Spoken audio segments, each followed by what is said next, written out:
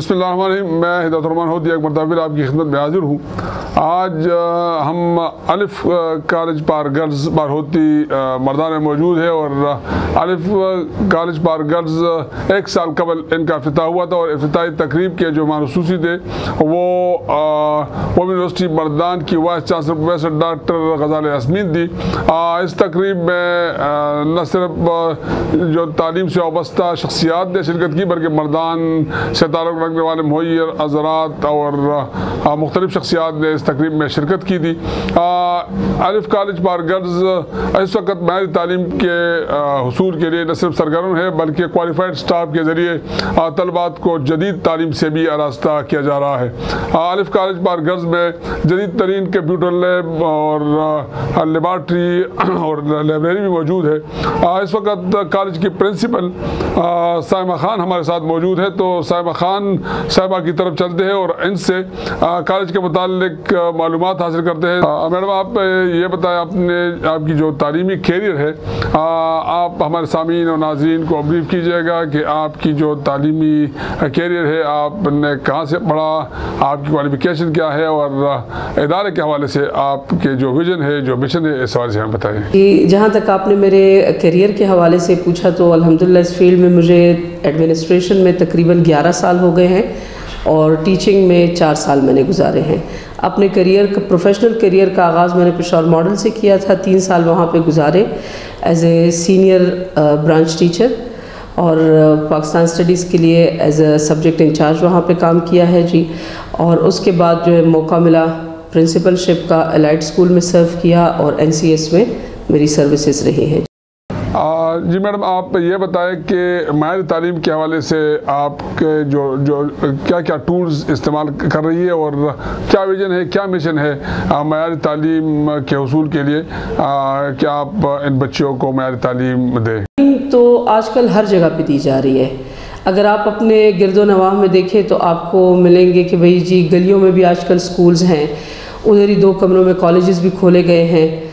और इसी तरह बड़े बड़े स्कूल और कॉलेजेस भी मौजूद हैं। लेकिन अगर एक कॉलेज दूसरे से या कोई इदारा दूसरे से बढ़तरी ले जाता है तो उसकी कुछ वजूहत होती है।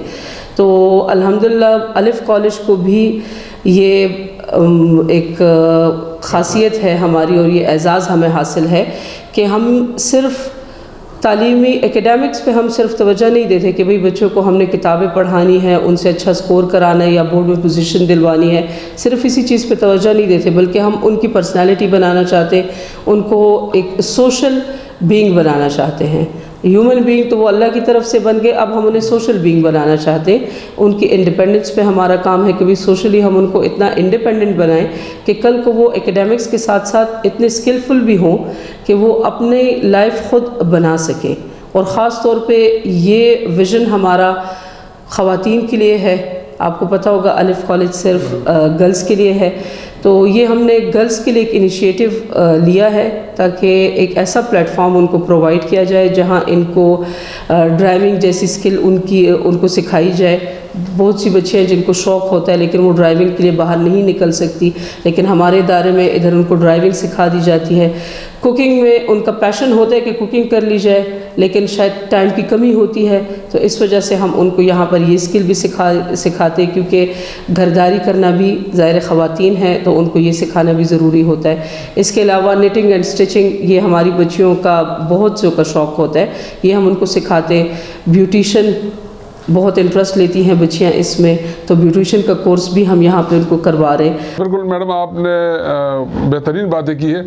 आप ये बताएँ कि आप क्या समझिए कि तालीम के साथ साथ तलबात को तरबियत की भी ज़रूरत है? क्योंकि आजकल तालीम तो दी जाती है लेकिन तरबियत नहीं दी जा रही। तो आप क्या समझती है कि तालीम के साथ तरबियत ज़रूरी है? देखिए तालीम तो बेसिकली होती ही तरबियत के लिए है। अगर आप इस्लाम को उठा के देखें, हमारी किताब है, कुरान है, उसमें हर हर लफ्ज़ आपको तरबियत दे रहा है। नॉलेज तो उसमें है नॉलेज आप कहीं से भी ले सकते हैं। नॉलेज आप राह गुज़रते भी हासिल कर सकते हैं नॉलेज आप किसी अनपढ़ से भी ले सकते हैं। अगर वो कुछ उनकी नो हाव होगी तो वो आपको सिखा देंगे। लेकिन अगर तरबियत नहीं होगी तो आपकी नॉलेज या आपकी जो तालीम है वो बिल्कुल बेसूद हो जाएगी। हाँ मैडम आप ये बताएँ कि आप आ, के पास इस वक्त तलबात की तादाद कितनी है और आप आ, क्या समझती है कि मेरी तालीम के लिए क्या ज़रूरी है और आप वालदेन को क्या पैगाम देना चाहती है कि वो क्यों अलिफ कॉलेज का इंतखब करें? देखिए एक तो वालदेन से मेरी ये दरख्वास्त है कि भाई अगर वो बच्चियों को हकीकी मानों में तालीम देना चाहते हैं और वो चाहते हैं कि वो तालीम आगे लाइफ में उनके काम आए तो अलिफ कॉलेज उनके लिए एक बेहतरीन इदारा है। वहाँ यहाँ हमारे पास क्लासेस आप देख लीजिए मल्टीमीडिया क्लासरूम्स हैं। उनको बाकायदा एनिमेटेड क्लासेस दी जाती हैं। कंप्यूटर लैब का आपसे मैंने कहा बहुत सोफिस्टिकेटेड कंप्यूटर लैब है रोबोटिक्स लैब है हमारे पास। इसके अलावा साइंस लैब हमारी बहुत वेल इक्विप्ड साइंस लैब है।